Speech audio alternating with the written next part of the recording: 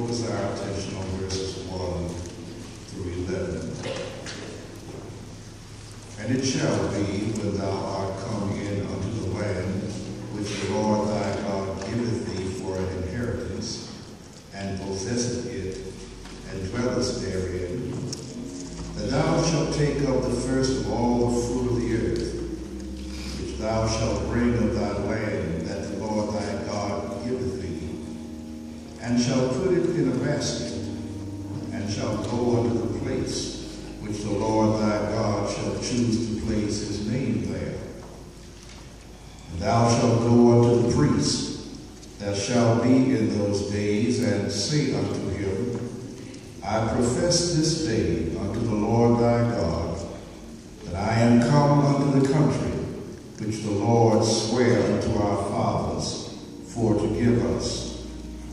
And the priest shall take the basket out of thine hand, and set it down before the altar of the Lord thy God.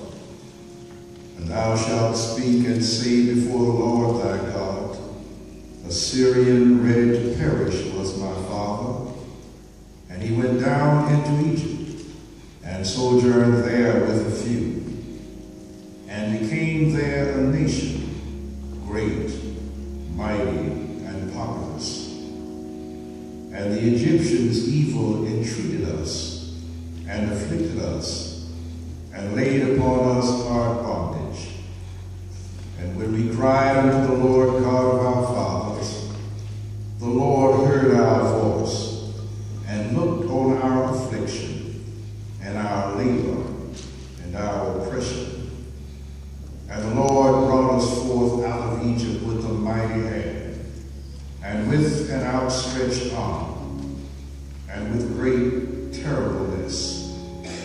with signs and with wonders. And he hath brought us into this place, and hath given us this land, even a land that floweth with milk and honey. And now, behold, I have brought the first fruits of the land, which thou, O Lord, hast given me. And thou shalt set it before the Lord thy God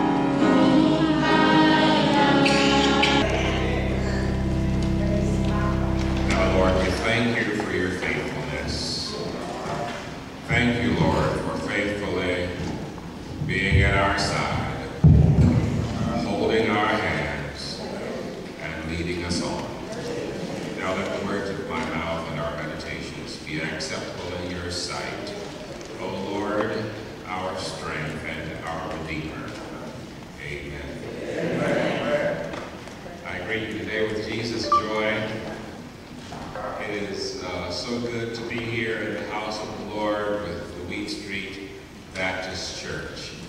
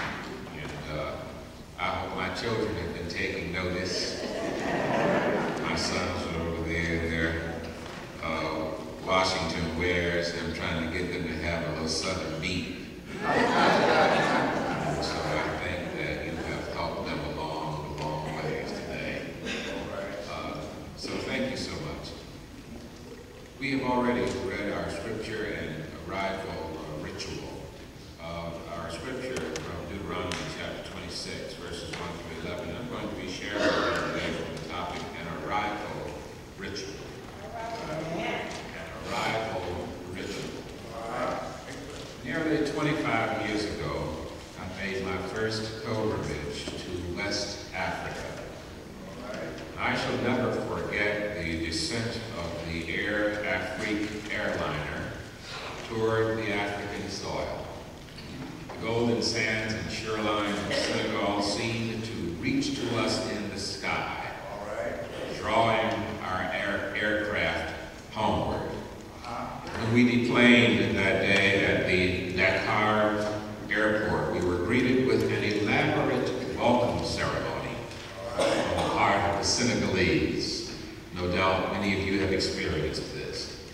Splendid dancers, singers, and other performers dressed in native garb, and a few on stilts uh, as they greeted us with the sounds of drums and native instruments. They encircled our delegation and joyously announced to us repeatedly, welcome home. All right, all right. We visited the old slave castle on Gorée Island, where our delegation performed a somber arrival ritual. All right, all right. We had prepared a litany in which we called to remembrance the sojourn of our ancestors who exited the door of no return from the shores of Africa headed to the Americas against their wills.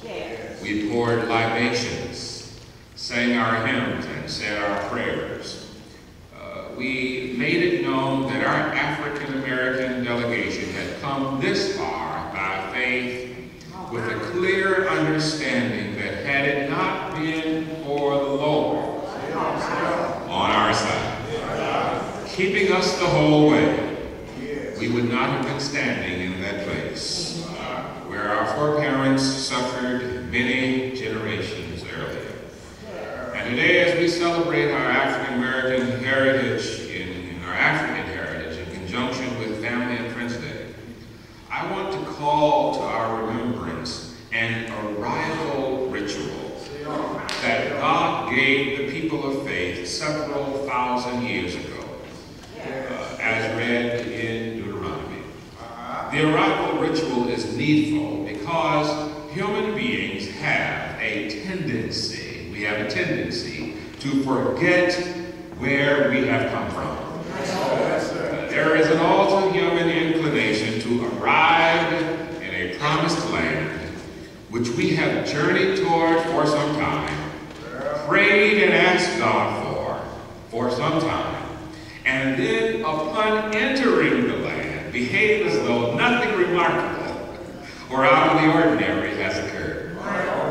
As people of faith, we are called upon to maintain an avid awareness that we have arrived by faith in God. Progress has been made. That success has been achieved. That a victory has been won. Faithfulness to God involves conscious awareness of our arrival and of our entrance into the land of promise. The writer of Deuteronomy said, When you have come into the land that the Lord your God is giving you as an inheritance to possess, and you possess it and settle in it. What a word. Our lives consist of movement, hopefully forward progress, sometimes with delays, sometimes travail, waiting on others, waiting on God, waiting on resources, waiting on an answer, wondering when, how much longer, and praying as we wait that God's purposes will be revealed in us. Life for us, as it was with the ancients, is a journey. Recall Abraham and Sarah wandering from place to place as they followed the voice. Recall the earliest Christians transmitting the gospel throughout the world. Recall our foreparents migrating across America from the south to the north, from the east to the west, whether by force or voluntarily. Journeying with God entails ongoing dependence on God's promises and God's power. Yes, sir. From time to time, we have to check our spiritual navigational systems to see are we there yet? And if we are fortunate, a day will come, if it hasn't already for some of us, when we will behold the land and we have been journeying toward. I'm trying to get us to see this as a spiritual experience. When we behold the land and then enter the land, kiss the earth, and pour a libation, fully conscious that God has brought us here. That if, if it had not been for the Lord on our side, where would we be? Arrival of the land means different things for different travelers this morning. Arrival may mean finally starting the relationship of your dreams. Arrival may mean realizing God's blessing of the family we've always prayed for. Arrival may mean realizing the dream for somebody of home ownership, a station in life, or a professional position. Arrival may mean the successful completion of a long career, a victory for justice, following a grave injustice, or the liberty to speak what's in your mind and heart. Arrival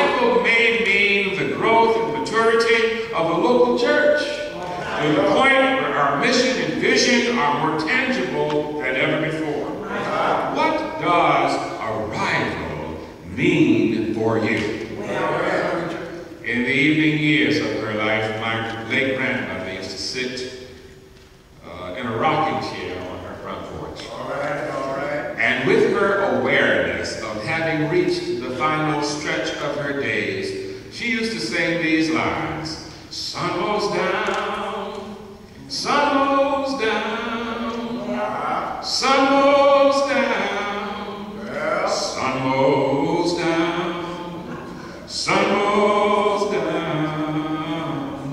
sun goes down. Then she had, I'm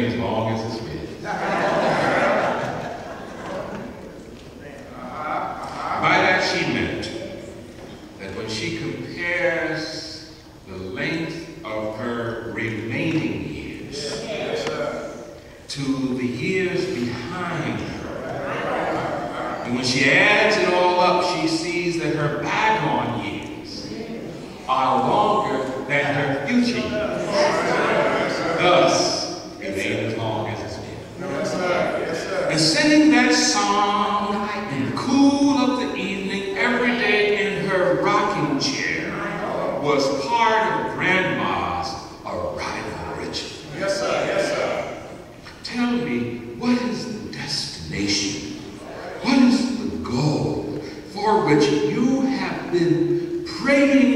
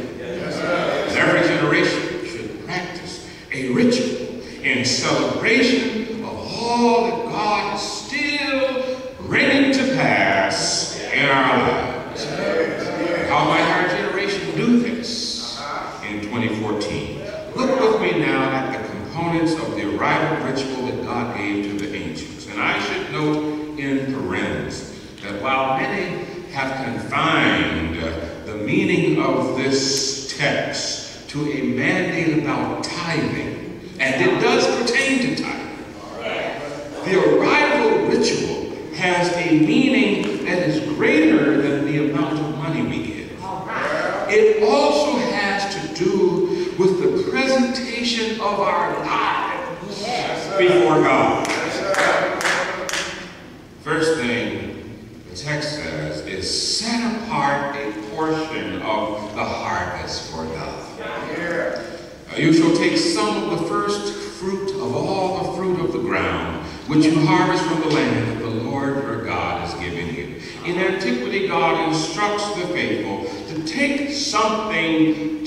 from the land. Something that you're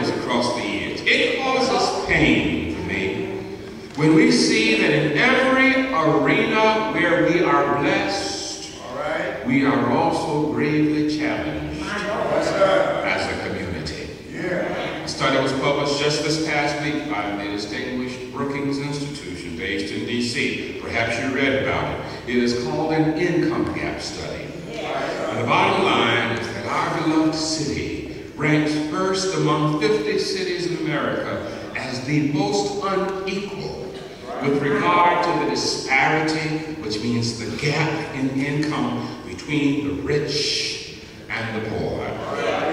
Income inequality means that those who have already are getting much more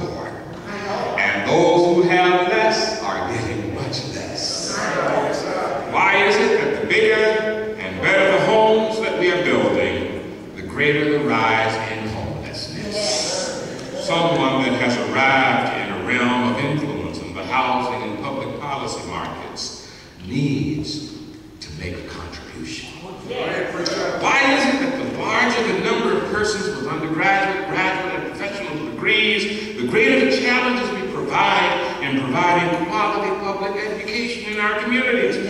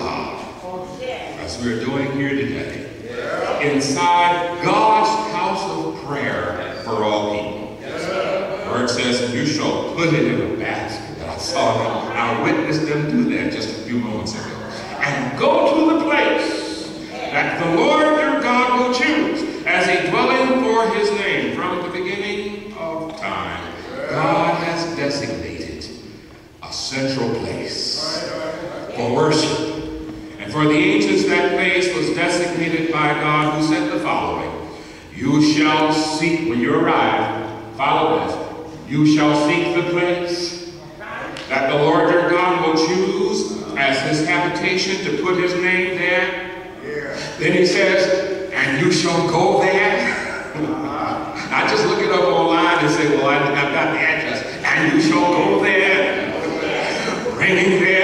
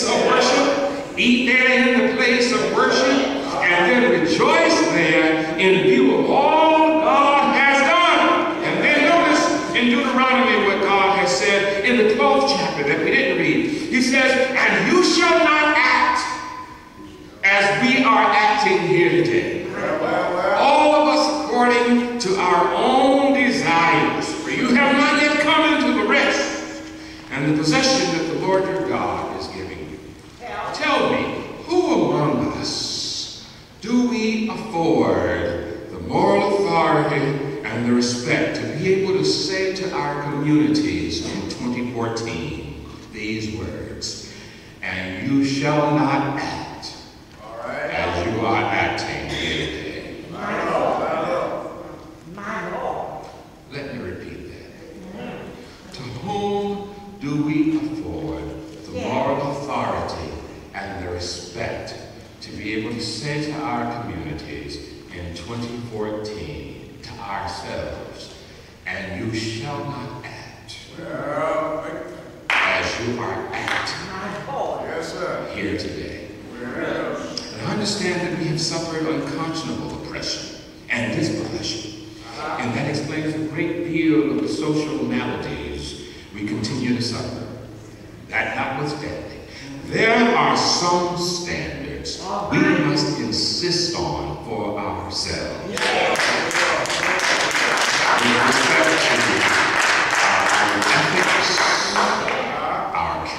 morality, our conduct, our respect for one another, and our willingness to help uplift those who need a hand up, our willingness to hold one another accountable for shared standards of achievement.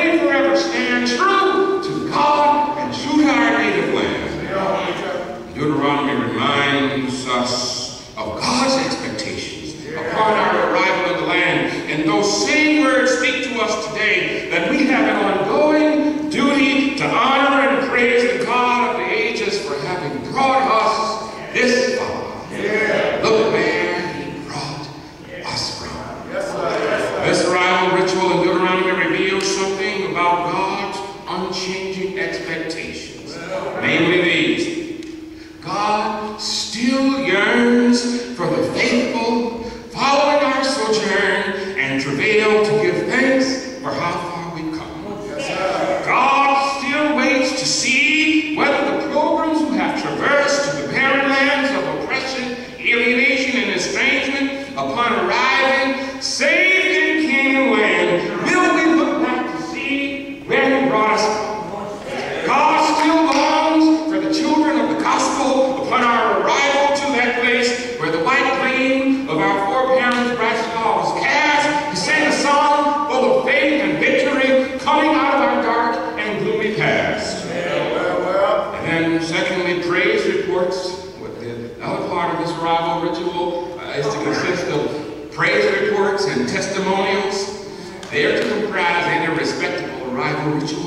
He says, You shall go, I love this verse, verse 3, you shall go to the priest who is in office at that time and say to him, Today I declare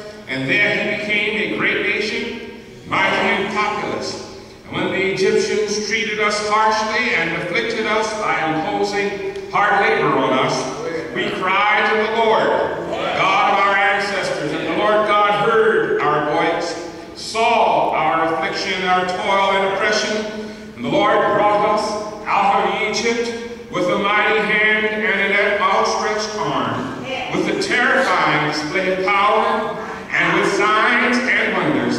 And he brought us, and he brought us, hallelujah, he brought us into this place, a land flowing with milk and honey. Arrival rituals involve true worship, and true worship consists of telling the story about where God brought us from. Last week, my kids had the day off and decided to drive them down to New Orleans. Now that we live in the Southland, I've got a different set of destinations we drive to. To drive to New York City and New England and so forth, but when I figured out that we were just a few hours from the Gulf, I said, let's drive down to New Orleans. And then on the drive there, I realized, oh, we're getting ready to pass through Montgomery. And so I said, wake up, wake up, guys. I need, we're passing through Montgomery, Alabama. This is, this is where Dr. King uh, pastored his first church, Dexter Avenue. No? And I was them late at night when we were driving, they, they slept through it. So coming back, I said, we're going to stop in Montgomery. They're like, what? I said, yeah, we were going to Dexter Avenue. It's just a couple of State House. We got off the highway, walked around Montgomery, and reminded them of the bus boycotts and the Montgomery movement